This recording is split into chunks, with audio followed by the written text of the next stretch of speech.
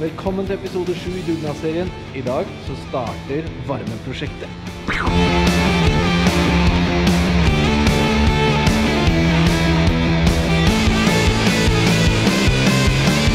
Ja, men du, mens vi står her nå, kan ikke du gi oss en innføring i hva vi skal montere her nå? Nå driver du og pakker opp, så da kan du like gjerne snakke mens du gjør det. Da er det 8000 watts varmepumpe fra Nibe.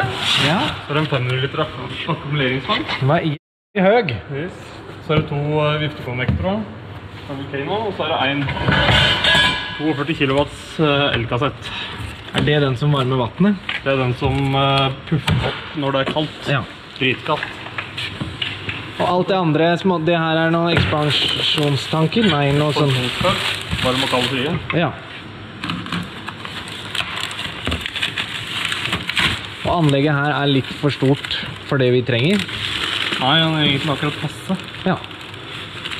Men uh, varmepumpa greier ikke effektbehovet i hallen her. Det er minus 30 kilo. Det er 30 grader. Men vi har jo ikke, det er ikke så ofte det er minus 30 lenger. Nei. Nei, jeg gleder meg til å få opp denne varmen her. ass. Det har du trua? Det blir bra. Det blir jo fall varmt.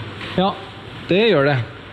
Ok, så da skal vi henge en eh, som vifte der, viftekonvektor, og en der. Så blir det gull. Og vi skal prøve å finne plassering til varmepumpene. Pumpa, varmepumpa og elkjelen skal stå oppå den hemsen der. Derfor må vi jo da opp i alt rotet. Så da må vi først begynne med å flytte denne skitbilen som står her, og litt andre greier.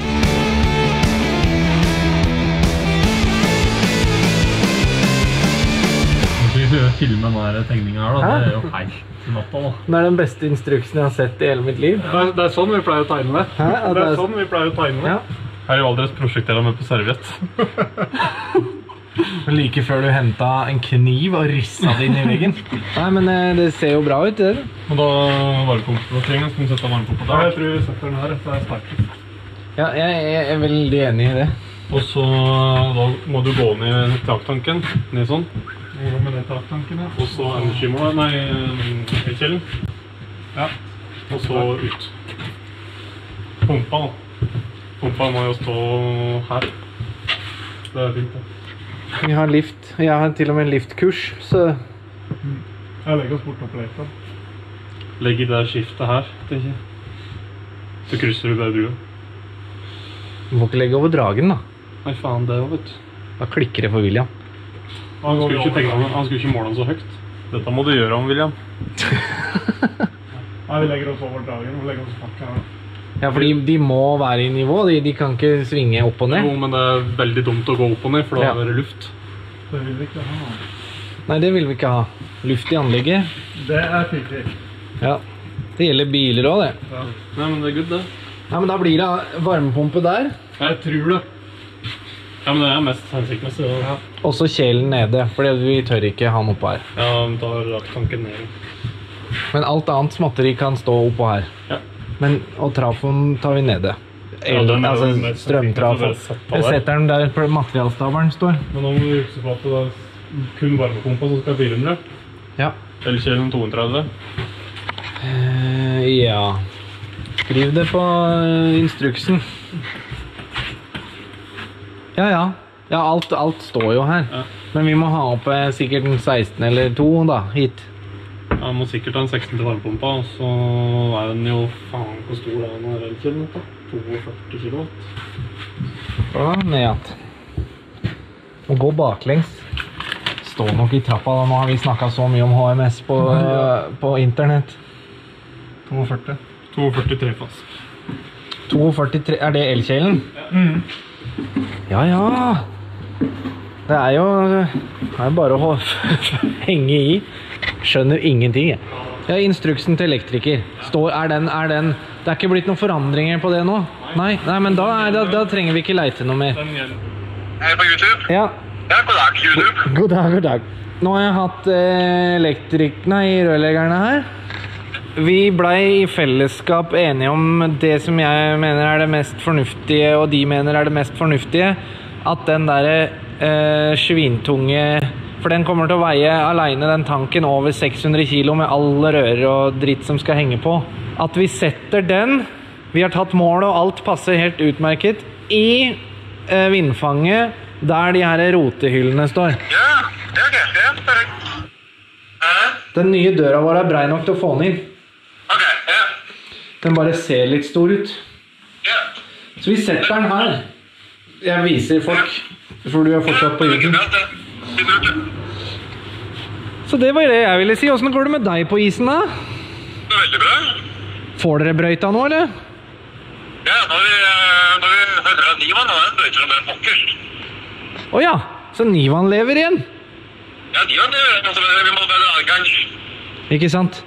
Det gjelder bare ikke kveien. Du er flink. Oh, yes. Det glemte jeg kanskje å si, at i morgen så kommer jo eh, elektrikergutta tilbake. Og da har vi da fått vite at vi må legge til eh, strøm der, strøm der, i tillegg til alt det andre som skal skje, som er strøm etter veggene, gjøre ferdig hemsen og begynne på å bygge om skåpet fra gamle skrusikringer til eh, automatsikringer. Og, legge utlegg til trafoen trefass og trefas oppå der. Det er litt av en, litt av en operasjon.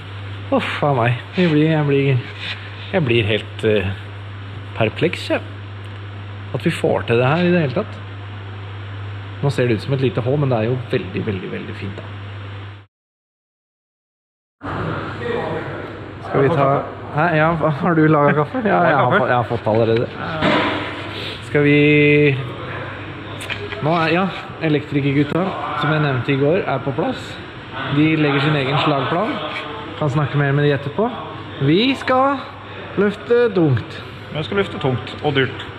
Og dyrt, ikke minst. Dette fikk vi en innføring av han eh, på Aurdal Rør i går. Så jeg tok en sånn eh, Han tok en sånn eh, forklaring. Ja, brief. Brief. Ja. Den der veier den nette sum av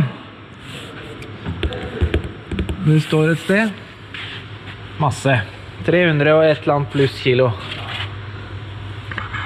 362. 362 kilo. Eh, den skal vi trykke oppå der.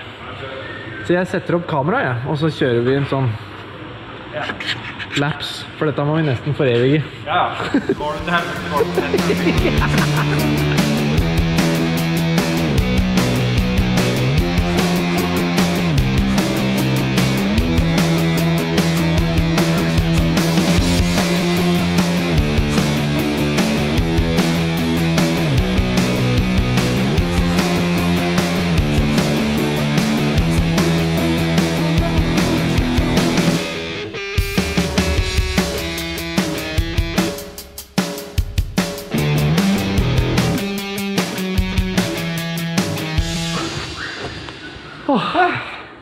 Er dette det svakeste lyset? Nei, ja, det var det.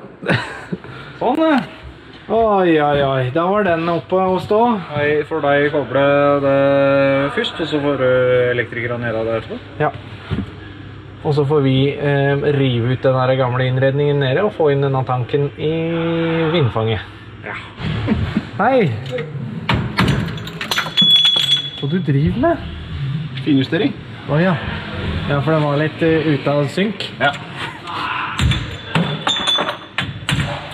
Du har gjort det før, da. Du kjenner dine triks. Ja, ja.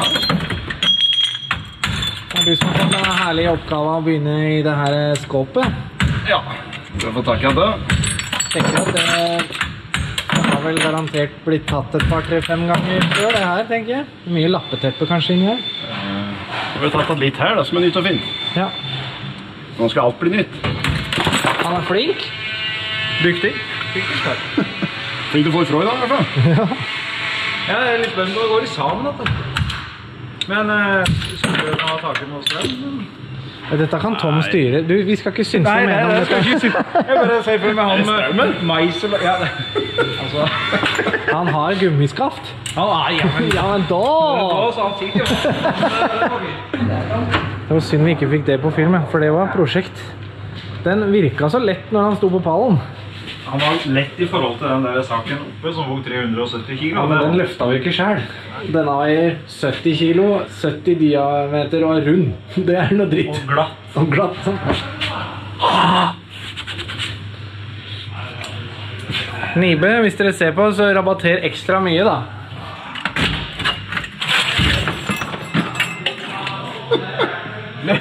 Oila toweren min! Det er ganske brutalt.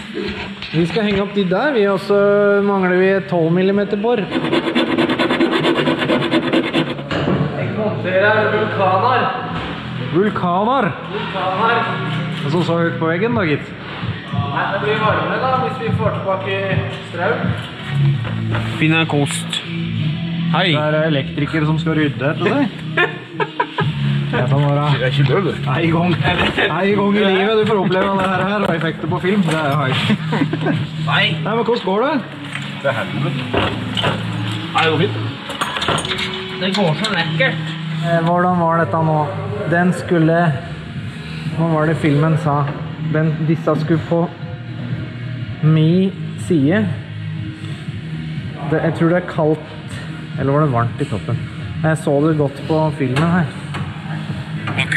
While and screws, washers, and nuts. Bra, da. Jeg veit ikke om han er i hølet sitt, men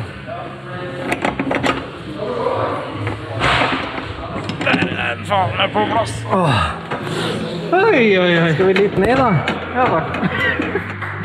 Det blir jo mye, mye dårligere plass til å få den her Wall of Famen vår her, da, men sånn blir det. Alt for varmen.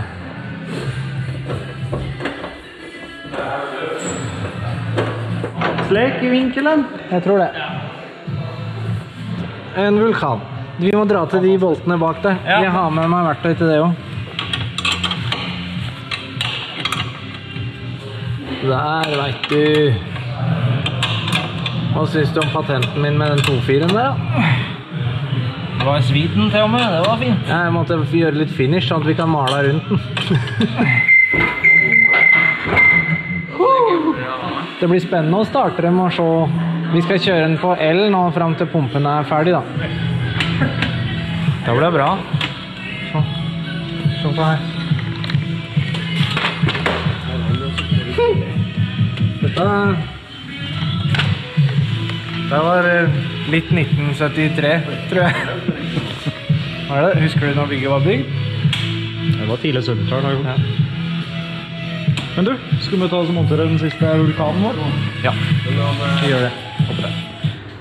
Så er det en del eh, karer her som har lyst til hjem igjen. Tusen takk for vanvittig god hjelp. Det her sparer oss for utallige både kroner og masse plunder og heft. Wow!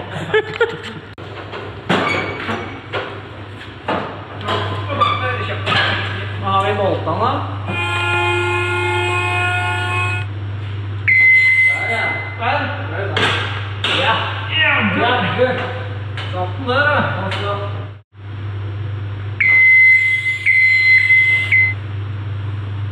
Og med det runder vi av for i dag. Ha det. Ha det.